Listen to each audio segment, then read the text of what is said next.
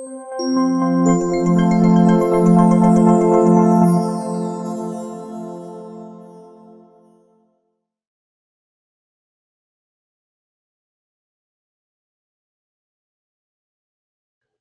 trends are perhaps the most obvious way to monitor success of your eConsult program.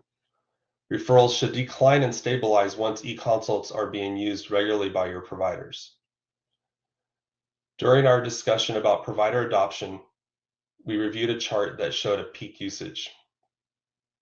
This peak in usage is the ideal time to educate providers about additional specialties that eConsults can support.